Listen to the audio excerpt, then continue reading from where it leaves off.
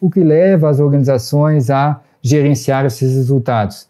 Esse tem sido um dos eixos das nossas pesquisas, do nosso grupo de pesquisa NETEC, verificar o que acarreta o gerenciamento de resultado por parte de organizações, cooperativas, fizemos estudos com cooperativas de crédito, fizemos estudo também com empresas, fizemos uma revisão integrativa da, da literatura, analisando todos os estudos de gerenciamento de resultados. Vimos que ah, são poucos os estudos na área de cooperativismo e temos desbravado bem esse setor junto com outros pesquisadores brasileiros. Então, nosso grupo de pesquisa tem feito estudos dentro dessa linha.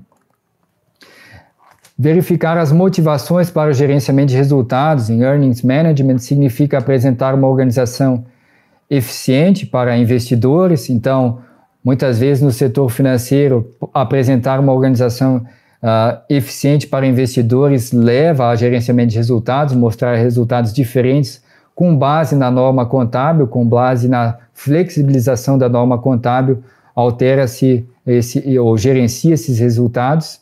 E isso já foi visto nos estudos de Ronen e Saddam, nos estudos internacionais também de Dembski, de Sankar e Subramanian, de Shridi et al., Kishenreiter e Melo Mad, então, de, e, e Goel, diversos estudos internacionais já têm destacado. E é sempre interessante a gente buscar nos estudos internacionais, pois às vezes a gente acha que está criando uma roda, mas na verdade nós estamos só recriando a roda, ela já existe, já foi vista em estudos internacionais e sempre devemos citar os autores que foram, foram pioneiros. Daí a ideia de ter colocado em ordem cronológica os autores a partir das suas descobertas e publicações internacionais que fizeram avançar a literatura nesse tema.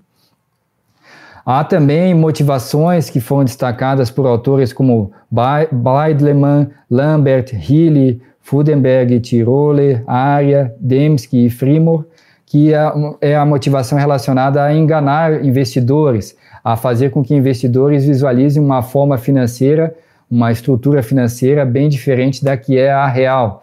Então, uh, essa é uma motivação também que, uh, para o gerenciamento de resultados, enganar investidores ou melhorar carreiras gerenciais, também a remuneração dos membros que fazem parte da organização.